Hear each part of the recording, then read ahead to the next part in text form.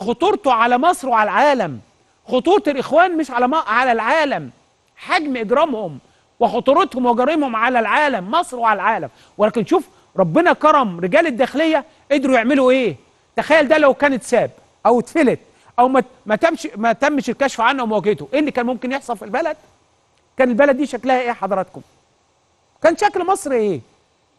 ده نجاح كبير لرجال الداخلية مصر دفعت ثمن للكلام ده. دفعنا ثمن للكلام ده. خطر حقيقي على علينا كشعب وعلى مقدرات البلد. ده لأنه ده تنظيم بيشتغل من سنة 28 جناء أجنحة مسلحة وميليشيات منذ عام 28 من ساعة المجرم حسن البنا زرع هذه البذرة القذرة. آسف إن أنا بقول قذرة. هذه البذرة الإجرامية المجرمة الخاينة. حسن البنا زرعها. واستمرت وموجودة بالمناسبة. موجودة. ويجي يقول لك نتحالف مع الإخوان والإخوان ندعمهم ويرجعوا. ترجع مين؟ مين اللي ترجع يا إخوان ده؟ اللي بعده. أدي طبعا تفكيك التنظيمات الإرهابية زي ما حضراتكم بتشوفوا كده. رجال وزارة الداخلية عمليات الضبط البؤر الإرهابية والتنظيمات الإرهابية ولهم كل التحية لهم كل التحية كل التحية. عمل شاق على مدار الساعة. ناس لا تنام. سعاده حالة الأمن والاستقرار أيوه طبعا. إنك ترجع حالة الأمن والاستقرار أنت فيها النهارده محتاج جهد إيه؟ بس دفعنا ثمن غالي قوي. أهو. أهو. ده الثمن الغالي قوي. تضحيات هائلة.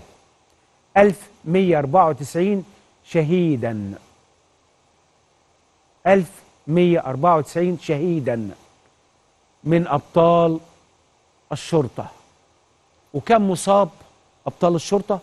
22202 شايفين الأرقام يا مصريين؟ شايفين عشان ترجع الأمن والاستقرار اللي عايزين يعملوا فوضى. يبقى أنا بت دفعنا دم ولادنا وشهدائنا ومصابين ومليارات وتيجي تقول لي تعمل فوضى تاني؟ تفكر في فوضى تاني؟ تنزل ناس تاني؟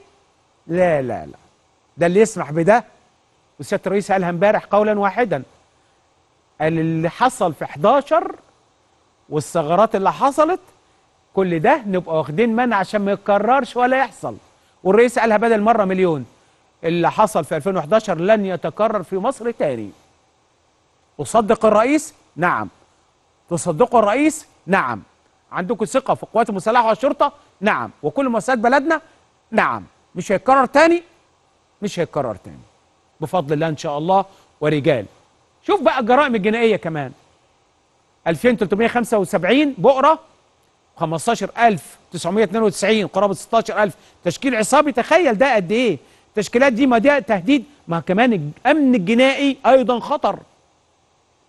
432 ألف قطعة سلاح. تخيل قرابة نص مليون قطعة سلاح بؤر إجرامية 2 مليون ذخائر و160 ألف ذخائر متنوعة 973 ورشة تصنيع اسلحه نارية